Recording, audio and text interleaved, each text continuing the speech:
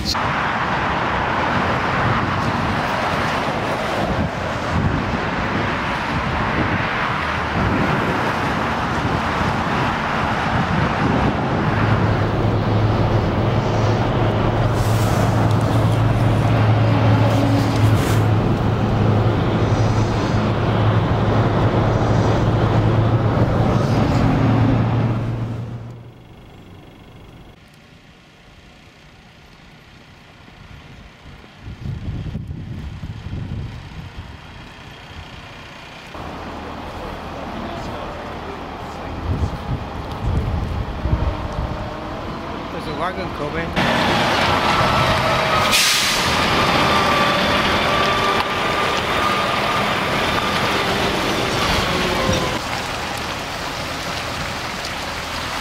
Is because of the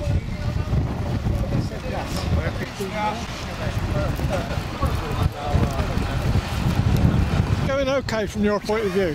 Absolutely. Uh, the weather is obviously a factor, but you know, uh, the logistics have done their thing. Peter's done a fantastic job, so have all the other volunteers. The crane's ready to go, but Mother Nature, as she often does, Yeah. has thrown a bit of a spanner in the oh, works. Yeah. Yeah. Wind could be a problem. Yeah. There's some way underneath.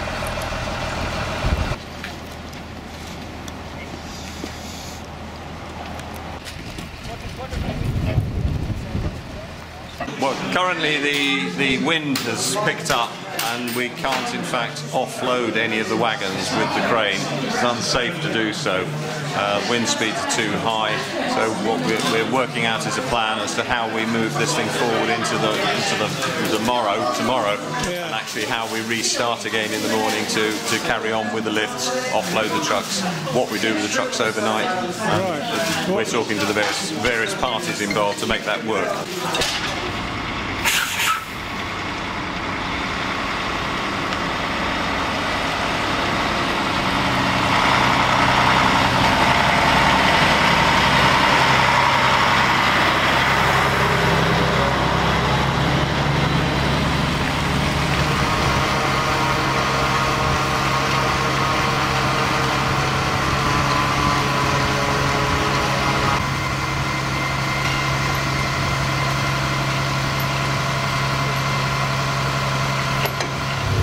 Two of the uh, the operation at Darnford, Darnford, Darnford Moors, and the wind has dropped. Uh, the uh, the crane is back is back working, and uh, what we have done is actually installed two of the units, offloaded two of the units from the trucks, put them into position.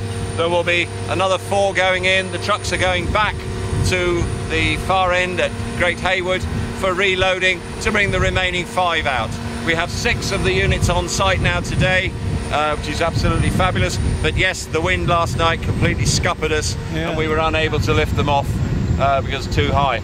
And as you can see, we now have a substantial crane here, fully, fully rigged with a super lift with 120 tons of counterweight on the on the back end to lift the 21 ton units into the canal channel. That's to counterbalance That's the, the fact that it's reaching so far. And it, reach, it reaches so far. The super lift on there basically is to allow the, the jib strength to lift at that distance. Most of the guys here actually slept in their trucks overnight. They they they normally spend they live in their trucks. These guys, uh, and uh, they they they were prepared to stay.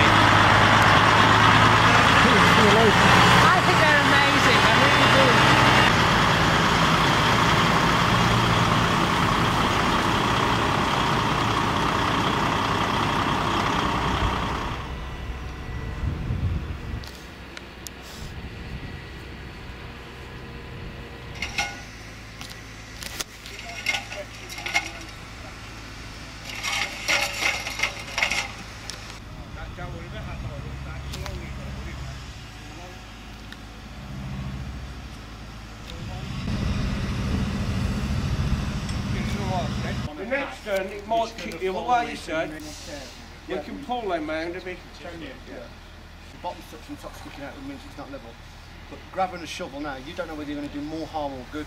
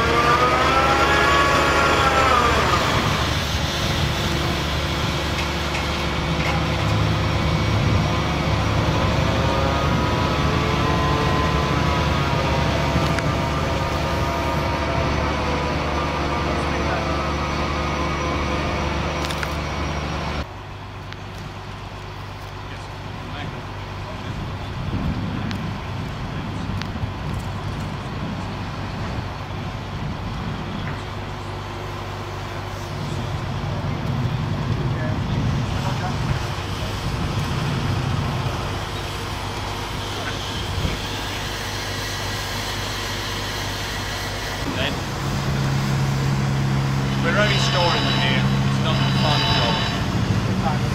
Yeah, yeah, yeah.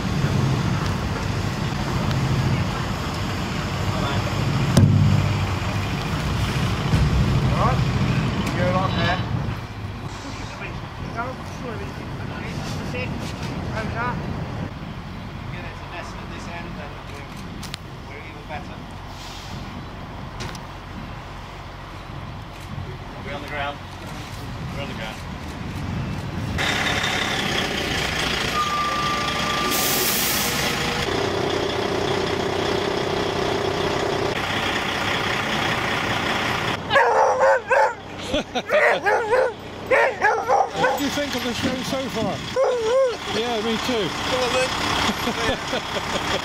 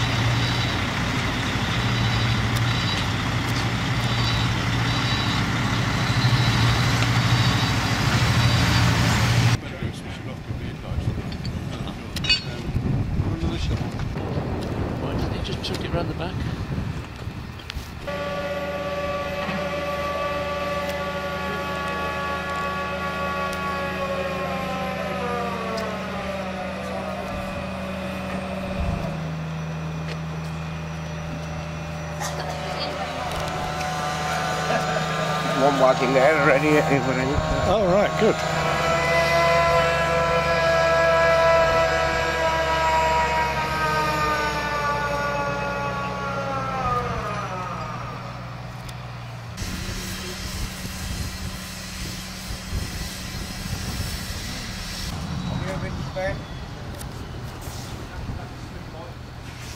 All right. I've got more you need.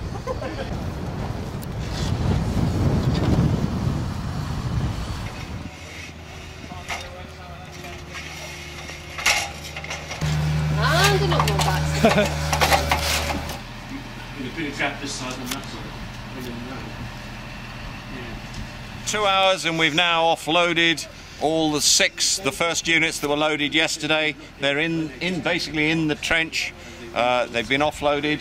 The trucks have all now gone back to the colliery to go and get a second load, and there are five more units to come in from there. And the trucks are already there. I'm told that the first truck has already arrived at the other end and is being loaded. So we need to wait for probably uh, just over an hour for it to get back here, and we will be putting in the remaining five.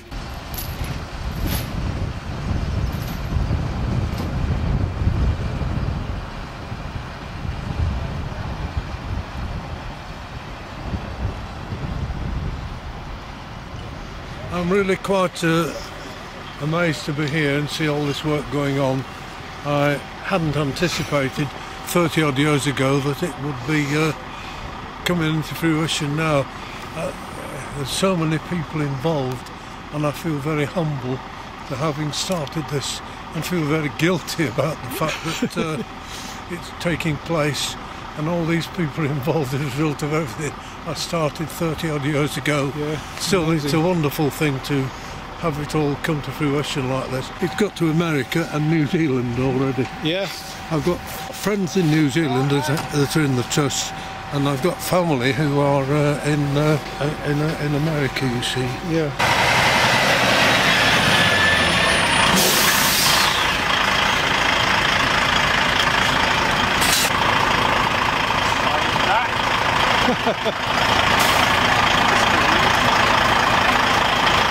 bought them some bacon butties a little while ago, and I said to the crane driver, I said, uh, I have got any paperwork for the uh, bacon butties to, to give you.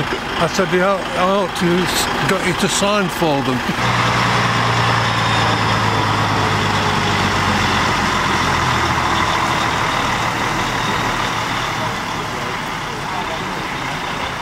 Interesting to think that these concrete culverts first arrived at Great Wyrley 12 years ago to the day, yesterday, But we've taken them out again and brought them here to Darnford Lane.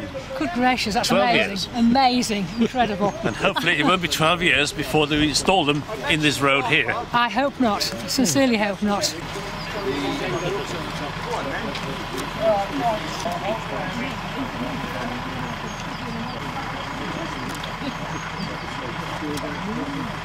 Then I'll put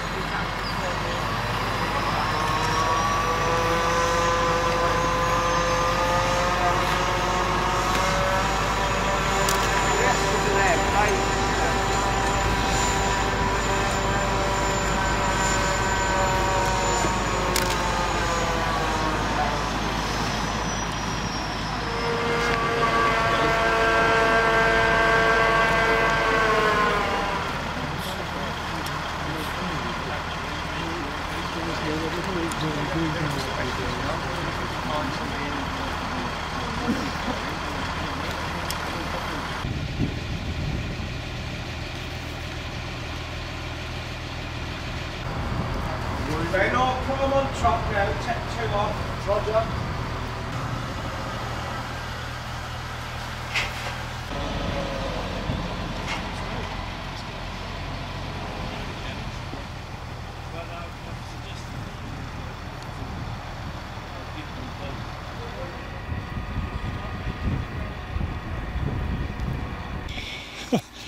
That's it then. All in. Yeah, brilliant. Everybody happy? Are you? Absolutely. Absolutely. Great stuff. What did Chris do, though? Invitation. Christine, you make the best chicken soup ever. Fact. Thank you.